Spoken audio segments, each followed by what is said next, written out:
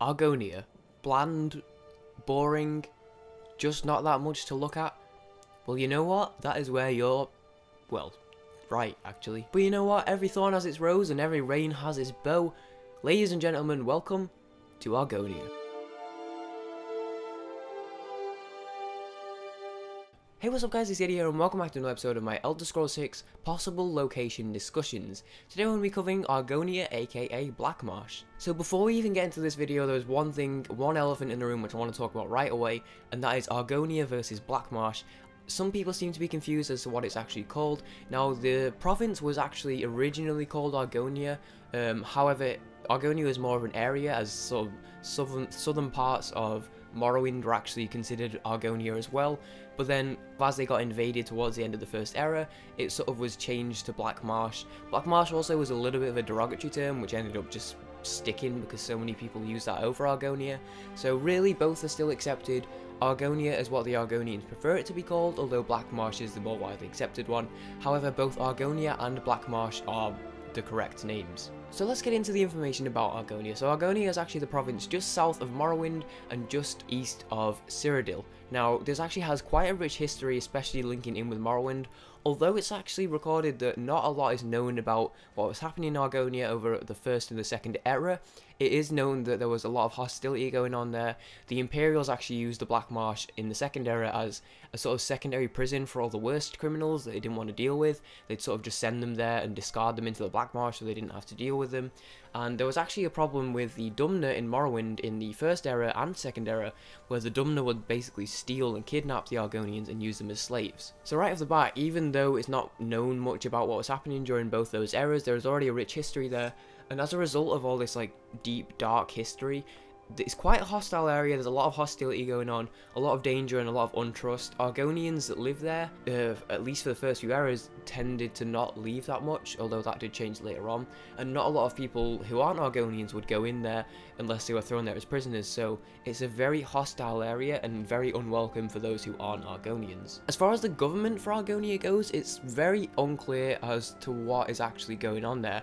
Now, I'll talk about this a bit more in the pros and cons, but basically it's suggested that there are a few different possibilities over how it's actually run.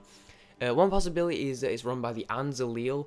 This is a big one because it seems that this was who was running them after the Oblivion Crisis in the sort of later 5th era, so it seems like they're maybe in charge. But there's also a lot of references over the course of the, the Elder Scrolls series, a lot of references to an Argonian king and even a potential Argonian royal court, um, and that that could be the governing body. So it's a little bit unsure. These are the two main possibilities that it's either this An-Xileel, which are like a military faction, um, although they could just be a faction and not a government, or it could be the royal court, so we don't really know. There's also a possibility that it's run by the Hist, uh, or at least influence a lot. Now, the Hist are actually these sentient trees, very similar to the moving trees in Valenwood, except a bit more in that they don't just sort of move around like a plant, they're actually fully sentient.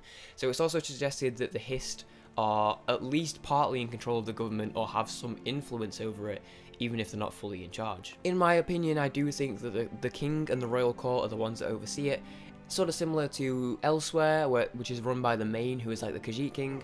I do think that it's run by the Argonian king and court, and then the An-Xileel are like the military, and then the Hist have just like a secondary part of it as well, considering they are basically part of the land. Although that isn't really clear for sure. So before we get into the geography, I want to go through a bit of a brief history of Argonia. We won't go too deep into the lore, but I think a bit of backstory is necessary. So as I mentioned earlier, not a lot is actually known between the first and second area, as not a lot was recorded, and even to this day the Argonians tend to not talk about what happened there, but we do know that a lot of Argonians were taken by the Dunmer and used as slaves, and this is relevant uh, uh, later on. And we also know that a lot of prisoners were dumped there. So during the end of the First Era, the Reman Empire actually engaged in a big battle with the people of Argonia, uh, basically called the Battle of Argonia.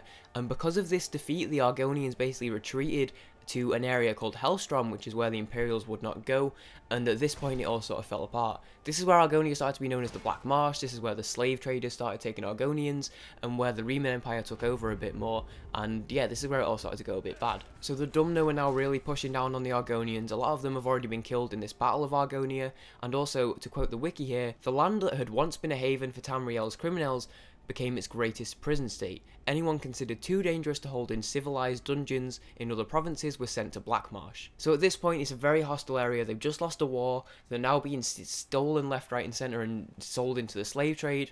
And these very dangerous criminals have just been discarded there. So it's a very dangerous, very hostile area. So during the second era, again, very little is known, even less in the second era than the first era. Essentially, the Argonians basically made this flu uh, it's a little bit unsure whether it was naturally created or whether it was created by this Argonian shaman. Um, but they basically made it. They started spreading it around. The Argonians were immune to it. Um, well, the stronger Argonians, and it basically it killed off all the weaker Argonians, which had become slaves. So all these slaves were dying off. So these oppressors basically didn't have any slaves anymore to sell because they were all dying of this this plague, this flu but it was also killing the oppressors as well. So this basically it pushed back the Dunmer, it pushed back the House of Dres, and it scared everyone away from the land uh, because they were all scared of this flu. So even though this did push people back quite a lot, the House the House Dres actually kept sending people uh, sending slavers into Argonia to basically take these Argonians. Not a lot happened in the Third Era as far as Argonia goes, however there was a big change for them in the Arnesian War, which was basically an uprising where all the Ar Argonians got together and just kicked the shit out of the Dunmer, or more specifically the House Dres. Uh, this was actually basically just to give revenge on all of the, the suffering that they got from the slavery from the House Dres. Um, and then this was basically the turning point for them. And then the fourth era was basically when everything started to clear up. They were a little bit terrified as far as the Oblivion Crisis goes, but basically the Hist, which I mentioned earlier, actually were able to scare away the Daedra from the Black Marsh or Argonia. Um, the military, the An-Xileel, actually were able to basically drive back the Daedra, sending them back into the Oblivion Gates once they were shut, uh, or before they were shut, and then they were shut, so they were gone basically. So yeah, the the the military, the Hist, and also the An-Xileel were able to get rid of the Daedra. So as far as you know, as far as the, the danger goes from the Daedra, they were actually never really in too much of a threat, even though they were worried at first. Uh, and then after this Oblivion Crisis, uh, at the end of the Fourth Era, they actually became an independent province. Now, as I mentioned, they were this back in the day, back at the start of the First Era, but then things changed as time went on. So this is where they became their own province again, was in the Fourth Era. There was a bit of a push where they basically their military pushed into the south of Morrowind, but then a different house in Morrowind pushed them back, so a lot of lives were killed, but at this point it was just an eye for an eye, uh, and as far as the end of the Fourth Era goes, they are currently neutral between the Empire and the Aldmeri Dominion battles are happening. Uh, so Argonia, uh, they've cleared up all the problems, they're their own province now, and they appear to be finally equal with Morrowind, and they are neutral towards the current issues. As far as geography goes, it's actually kind of straightforward. It's basically a fuck-off massive marsh. It's sort of different in that the top half of it seems to be quite thick, dense marsh, and then as you get to the bottom half of it, it's more broken up in like a large amount of small miles, uh, small islands even, I don't know why I said miles, a large amount of small islands which are basically split up by these rivers, so it's basically split pretty much 50-50, the top half being dense, thick marshland, and then the bottom half being these just a load of different islands and stuff. It's one of the largest provinces, although we don't really know exactly how big it is, but it is one of the largest provinces, we know that much. Uh, and one also final thing to note, again quoted from the wiki, Blackmarsh is also subjected to a unique type of rain, sometimes referred to by the religion's inhabitants as hist piss, often accompanied by heavy thunder and fog. It has been described as an inferno of foul-smelling, yellow-brown rain not really much you can say about that. I mean, in the game, you're not going to be able to smell it, right? But, you know, it exists, so if the game were to be set in Argonia, then that would be a thing that would be had to be deal dealt with. As far as cities goes, this is maybe one of the most promising ones we've seen since I've started this series. There are a lot of cities there, there's enough cities there, compared to the amount of cities in the likes of Skyrim, Oblivion, and Morrowind, there are plenty of cities there, plenty of options. Um, some of them, i.e. Helstrom, which is actually the capital of Argonia, or at least it's in the centre of Argonia and is the biggest one. Uh, this has actually never been reached by the Cyrodiilic Empire, so the Imperials have never really been there. Um, so this could be a new area to explore, but we'll come into that. But there are plenty of options, Lilmoth, Soulrest, Stormhold, Gideon, these are all really big cities, and there are some smaller ones as well, like Archon, Blackrose, and the Thorn. So there are a ton of cities here, a ton of options, very different ones. Um, one particular one is Lilmoth, which is, is the most southern city, and it's described as the festering jewel of the Black Marsh. So this is all in like the more watery area. Um, and then you got like Stormhold and also uh, Gideon, and these two are actually found by the Ayleids. So these ones are a bit more sort of stone made, uh, a bit grander, and probably a bit more ruiny type uh, cities, as opposed to something like Soulrest or Lilmoth, which are more sort of marshy cities. So yeah, there's a bunch of different cities, and there are a bunch of different options within them, and a ton of variety even just within the cities in there. So who lives in Argonia? Well, obviously the Argonians live there, so we're not going to go into too much detail with those. But something I really like to do with this series is talk about the people who we haven't really heard much about from the other games. So I briefly mentioned the Hist earlier on. As I mentioned, these are basically sentient trees. Now they work like a hive mind, so they're all the different trees, but they sort of are on the same brain, I guess. If any of them were to go rogue, even though it's very difficult, um, they can do it, and if any of them were to go rogue, the Hist basically just murder that tree and remove it from the group, um, which hasn't happened for over 300 years, to be fair. Uh, they basically they can create this substance which can only be used by Argonians without a negative reaction. Uh, if other people use it, it basically makes everyone seem like an enemy to them. It makes them really hostile. Uh, but the Argonians can use it without a negative reaction. Uh, and if anyone were to use this sap, it basically means that the Hist to supposedly be able to communicate telepathically with people who have ingested their sap. So they're a hive mind tree network across the whole of Black Marsh who are are sentient and they know what's what's going on and stuff. So you've also got the Naga. These are essentially a sub-race of Argonians. They're very similar to Argonians. They look a lot more fish-like, and these are described as sort of violent thugs and drug smugglers. Uh, a quote from the wiki. Um, so these are very violent, and it actually says here they almost never leave Blackmarsh, rarely coming into contact with non-Argonians. So if we were to have a game set here and we were playing any other races, these guys would be very hostile, um, very aggressive if you were to bump into them. Very much like the bandits or the Forsworn. If you know they're like, hey, you've come to the wrong place, or you picked a bad day to get lost, friend. Except maybe a bit more aggressive and more violent. So yeah, that's the Naga. I also wanted to talk about the Lilmothiit. I'm not really sure fully how to pronounce that, so I'll try my best there. Now, these guys, they haven't been seen for a long time, and they're supposedly extinct. However, as the wiki actually said, it's actually stated in the Pocket Guide to the Empire that their fate is actually unknown. So, similar to the Neverine, they could be gone, they could be dead, they could be extinct, and most people think that they are extinct, but they also could not be. Now, these guys are essentially sort of like a mix between Khajiit and Argonians. They are humanoids and they take a vulpine appearance, which basically means they're sort of like human-shaped foxes. And yeah, they look interesting. They may be may be dead. I guess it's sort of like a Khajiit variant then, because if a fox is sort of like a cat, it's not actually. Now that I've said that, you know, that seemed right in my head when I said it, but now that I've actually said that aloud, I'm like, that's ridiculous. They're basically fox people. So as far as religion goes, once again, not much is known, but they actually have a very interesting sort of religious backstory, uh, or at least I think it's very interesting now. Coming back to the Hist, they actually basically worship the Hist and see them as their god. Um, now, something that's interesting is that when a baby Argonian is born, they actually drink the sap from the Hist straight away, and it's actually thought by the Argonians that this drinking that Hist is actually giving the hatchling its soul and then that Argonian will grow up, and then when that Argonian dies, the Hist goes back into the Histories, um, and then that will then be given into a different hatchling to give that its soul, and then the cycle repeats from there. Um, now, as I mentioned earlier, if you drink the, the sap from the Hist, you actually have like telepathic communication with the Hist itself. So you know, if an Argonian is born, they drink the Hist sap as soon as it's born to get their soul, and then throughout their life they can communicate with these sentient trees. Uh, they also worship Sithis, uh, similar like similarly to how the Dark Brotherhood worships the Night Mother. Um, they actually they're pretty interesting with this in the way that they mainly follow the Hist, but actually if an Argonian is ever born under the sign of the Shadow, they are straight away given to the Dark Brotherhood without any any word about it. They're straight away given to the Dark Brotherhood at birth and then the Dark Brotherhood then trains that Argonian uh, under the art of stealth and assassination. Uh, they'll then basically work for the Dark Brotherhood as they grow up until they eventually earn the rank of Shadow Scale, which is a special like high up rank for the Argonians. And then once they've earned that rank, they will then serve the sort of government of Argonia or the royal court or whatever. Uh, they serve them then as spies and assassins. So any assassin, any Argonians which are born under the the Shadow straight away just become like given to the Brotherhood and they'll be trained up over their lives to work for like the Argonian Secret Service, I guess. So that's pretty much my information on the main overview and everything you need to know about Argonia. Now, I'm going to talk about the pros and cons briefly. I've decided, based on what I think on the previous episodes, I'd rather talk about more in detail about the overview of the province itself and less about the pros and cons.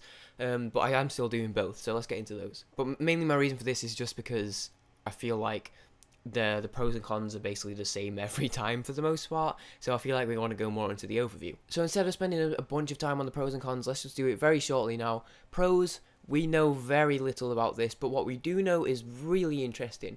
So we know very little. That means that there's a lot of potential to change stuff up, right? There's a lot of potential to deal with new things we haven't dealt with before. If we don't know much about it, then not only is it new stuff for us to experience, but it means there's a lot of freedom to move as far as development goes for Bethesda, because it's not like, oh, we've got to do this and this exactly. They can do not necessarily what they want, but they can be a bit freer to change it around how they want, as well as new things to explore as well. And like I said, it's very interesting. I mean, the Hist, we've not seen anything like this before. It's a network of trees across the whole country. The Argonians will um, you know, have this whole thing of drinking the sap from the Hist when they're born, and then they have this like telepathic communication with the Hist. Um, there's also the whole thing of the shadow scale type thing, and yeah, that's pretty cool. In my opinion, at least. There's also these new race type people classes, i.e., the Naga and also the Lilimothetes. um, Lilmothete. I'm, again, I'm not sure how to say that. But yeah, the Naga, we haven't seen them before. A little bit interesting, a little bit of a different variation. Whether or not you'd be able to play as them, I don't know. If you could, whether they'd be like you click Argonian and then you can change to Argonian or Naga, or whether they'd just be a completely separate one amongst the other races. Um, I don't know, but the Naga, interesting to go against. And then obviously the Lilmothiit as well. Again, we don't know where they are, but why not bring them back, right? The fate's unknown, why not bring them back? Bethesda, they'd be pretty cool, Fox people, and once again, another potential race, so yeah, it'd always be pretty cool. And I know a lot of people seem to be like, oh, you know, you can't add more races. I don't want more races. That's not how it should be. But you know what? I have actually, across my wish list video and some other videos, I've seen a fair amount of people say that they'd be happy to see new races. There's two right there, but there's the Naga and Lilmothiit. So, you know, why not? And another one is cities, and I quite like this one as an advantage because as far as Elsweyr in Valenwood goes, uh, those were some of my cons in that there wasn't a ton there in the Wave cities. This one seems to be the best one we've had so far. There's actually a ton of cities there. There's actually eight cities in Blackmarsh, and that is a good amount of cities. I'm not sure on the, off the top of my head how many cities there were in Oblivion, Morrowind, or Skyrim, but I'll put those on the screen now. But there's eight cities, and that's pretty sweet.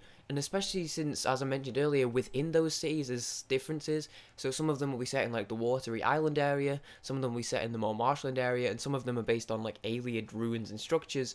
So yeah, there's there's some pretty awesome potential, not only in the fact that there are cities there, but also in the fact that they're different as well, and there's variety between each individual city. And another one is that it is massive, so plenty of exploration space. So going on to the cons now, and honestly, the main one is one that we've heard before, and it's just the bias towards certain races. Now, you know what? In Elsweyr, you can get over the whole Khajiit thing because it's like, oh yeah, they live there, whatever, right? But the thing is, in Argonia, the Argonians actually get a distinct advantage because although it's only like said by the Argonians that they can talk to the Hist, the other races obviously don't know if this is true.